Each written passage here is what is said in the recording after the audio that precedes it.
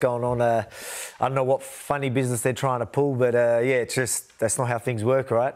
I don't know if he just wants uh, doesn't want that fight. I don't know if he was ever injured. I, I don't know. I don't know really know the situation. Right. But uh, yeah, to pull out from a fight that you already scheduled to fight, uh, you pull out and then want to be the backup fighter for it. It just does not make sense. It's like, why, why are we even doing this in the first place? Has he said that? Has he You come out I and mean? said? Yeah, he's actually said that. Yeah, so that's uh, been in, and a few people are uh, going out and saying that. So, um, yeah, that's not how things work. Yeah, again, maybe.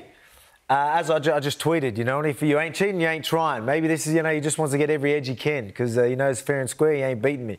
He's already down uh, 2 0. So, uh, you know, maybe maybe that's why he, he wants to either fight someone else in case I get injured or get me while I'm preparing for someone else. And maybe he thinks that might give him a, a little bit of an edge. But hey, it's not how things work.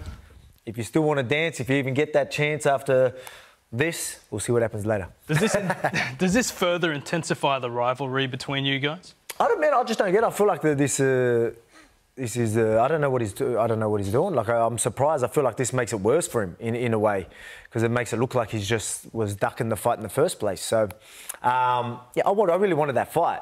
Like people got to understand. I really wanted that fight. And uh, you know, every, a lot of people wanted uh, to see that fight as well, but then he pulled out, which was very unfortunate. You know, and I just wanted to get back in there anyway. And then to hear that, it, it's it, it's quite annoying because I really wanted that that fight. You know, I've always said that I want the number one guys. He proved that he was. That's why he got the third chance, mm. and now to do that.